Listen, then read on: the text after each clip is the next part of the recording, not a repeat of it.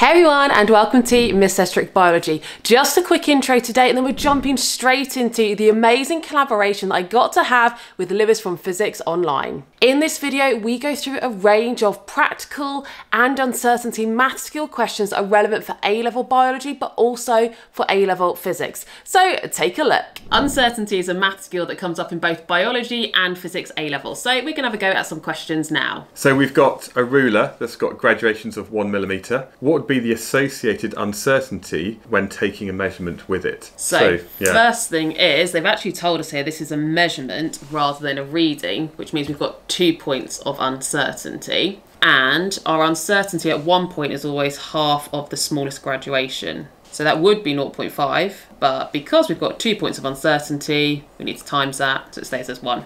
So we've got an uncertainty at the beginning, an uncertainty at the end, and therefore the total uncertainty in that measurement, because it's got a beginning and an end, must be one. Yeah. So one millimetre. There we go. Next, then, is calculating the percentage error for a measurement using the ruler of six millimeters.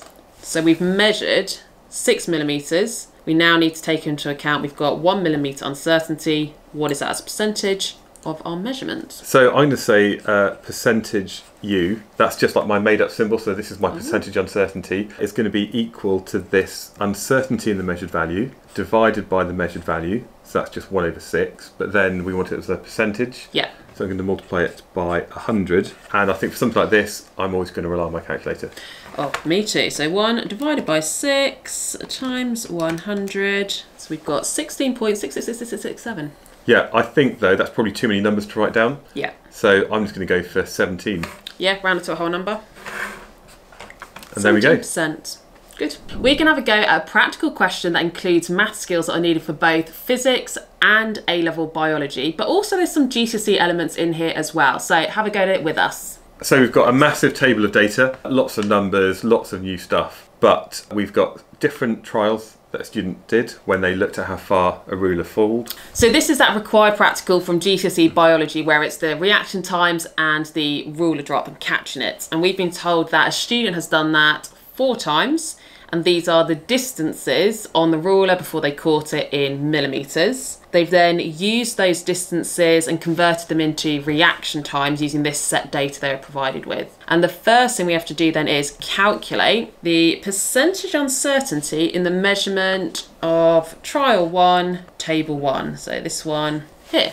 And I think there's a lot of information there in the question, and it's trying to just identify which bit of data you need, which table. And once you've done that, it's pretty straightforward. Yeah. So, yes, they've taken this uh, ruler, they've dropped it through somebody else's hands, and then they've looked at how far it's fallen, and that's then going to be linked to the time. So, calculate the percentage uncertainty. I would say for this one, because we're measuring to the nearest millimetre Yep. with that ruler, we're going to have one as our absolute uncertainty. Yeah. and we're going to divide that by the measured value, which in this case is 79 millimetres.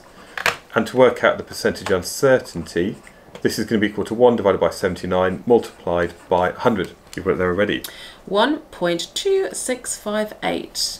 And I'm going to give that as 1.3%. So I'm just going to give my answer to two significant figures, which I think is appropriate. Yep, agree. So then we've got following the ruler drop method, it's not possible to react in less than 45 milliseconds. Suggest one reason for the result in trial three. So they caught it much shorter distance, which would then actually be less than 45 milliseconds. So we've got to suggest why that might be the case, or suggest question. Yeah, so it's a suggest question. There's one reason that they've highlighted in bold, mm. and it could just be that they started moving their fingers before they should have done, Yeah. and then they just got very lucky that they actually managed to hit the ruler as it started to fall. So Yeah. it could be they've kind of jumped the gun. Just there's guess. this kind of yeah, this kind of sort of guess, this kind of false start, Yeah. and that could be one of the reasons. Yeah, I'd go for that. Okay, and then final question. One student estimated the length of the nerve pathway involved in this reaction was 170 centimetres. Use all the information to calculate the mean speed of nerve impulse transmission, exclude anomalies. Okay, meters per second as well. Yeah. So do you want to do this one? You go for it because you don't like my biological formula for it, so. Okay, so I'm going to say in physics, even when you did GCSE, we use v to represent the speed of something, and that's going to be equal to the distance travelled or the displacement divided by time. Okay, so this is just a shorthand way of writing it, so I know that speed is distance over time. Okay. The distance is 170 centimetres, which is then a tricky thing because you've got to make sure we mm. convert it into standard units. Yep. And we've they got want it as meters. meters per second, so that's going to be 1.70 meters. Yep, just divide by 10. But the time is something we don't know, and I guess that's where we're going to have to go back over here. Okay. It does say to exclude anomalies.